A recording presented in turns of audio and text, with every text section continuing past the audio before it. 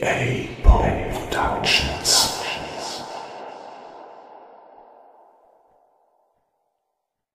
EA Poe Productions liest Sagen der Gebrüder Grimm. Heute König Karl sieht seine Vorfahren in der Hölle und im Paradies. König Karl, der Dicke, als er auf Weihnachten nach der Mette früh morgens ruhen wollte und fast schlummerte, vernahm eine schreckliche Stimme, die zu ihm sprach Karl, jetzt soll dein Geist aus deinem Leben gehen, das Gericht des Herrn zu schauen, und dann wieder zurückkehren.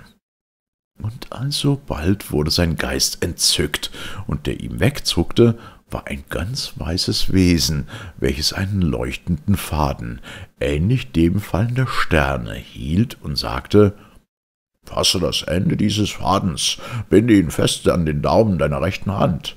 Ich will dich daran führen zu dem Ort der höllischen Pein. Nach diesen Worten schritt es vor ihm her, indem es den Faden von dem leuchtenden Knäuel abwickelte und leitete ihn durch tiefe Täler voll feuriger Brunnen. In diesen Brunnen war Schwefel, Pech, Blei und Wachs. Er erblickte darin die Bischöfe und Geistlichen aus der Zeit seines Vaters und seiner Ahnen. Karl fragte, furchtsam, warum sie also leiden müssten. Weil wir, sprachen sie, Krieg und Zwietracht unter die Fürsten streuten, statt sie zum Frieden zu mahnen. Während sie noch redeten, flogen schwarze Teufel auf glühenden Haken heran, die sich sehr mühten, den Faden, woran der König sich hielt, zu ihnen zu ziehen. Allein sie vermochten nicht, seiner großen Klarheit wegen, und fuhren davor zurück. Darauf kamen sie von hinten und wollten Karl mit langen Haken ziehen und Fallen machen. Alleine der, welcher ihn führte, warf ihm den Faden doppelt um die Schulter und hielt ihn stark zurück. Hierauf bestiegen sie hohe Berge, zu deren Füßen glühende Flüsse und Seen lagen. In diese fand er die Seelen der Leute seines Vaters, seiner Vorfahren und Brüder bis zu den Haupthaaren, einige bis zum Kinn, andere bis zum Nabel getaucht. Sie huben an, ihm entgegenzuschreien und heulten Karl, Karl, weil wir Mordtaten begingen, Krieg und Raub, müssen wir in diesen Qualen bleiben. Und hinter ihm jammerten andere. Da wandte er sich um und sah an den Ufern des Flusses Eisenöfen voll Drachen und Schlangen, in denen er andere bekannte Fürsten leiden sah. Einer der Drachen flog hier zu und wollte ihn schlingen, aber sein Führer wand ihm den dritten Schleif des Fadens um die Schulter. Nächstdem gelangten sie in ein ungeheuer großes Tal, welches auf der einen Seite Licht, auf der anderen Seite dunkel war.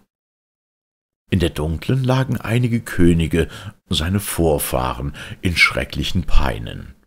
Und am Lichte, das der Faden warf, erkannte Karl in einem Faß mit siedendem Wasser seinen eigenen Vater, König Ludwig, der ihn kläglich ermahnte und ihm links zwei gleiche Kufen zeigte, die ihm selber zubereitet wären, wenn er nicht Buße für seine Sünden tun würde. Da erschrak er heftig. Der Führer aber brachte ihn auf die lichte Seite des Tales. Da sah Karl seinen Oheim Lothar sitzen, auf einem großen Edelstein. Andere Könige um ihn her, gekrönt und in Wonnen. Die ermahnten ihn und verkündigten, dass sein Reich nicht mehr lange dauern werde. Aber es solle fallen an Ludwig, Lothars Tochtersohn und in dem sah Karl dieses Kind, Ludwig, da stehen. Lothar, sein Ahnherr, sprach Hier ist Ludwig, das unschuldige Kind, dem übergib jetzt so deines Reiches Gewalt durch den Faden, den du in deiner Hand hältst. Da wand Karl den Faden vom Daumen und übergab dem Kind das Reich. Augenblicklich knäulte sich der Faden, glänzend wie ein Strahl der Sonne, in des Kindes Hand. Hierauf kehrte Karls Geist in den Leib zurück, ganz müde und abgearbeitet.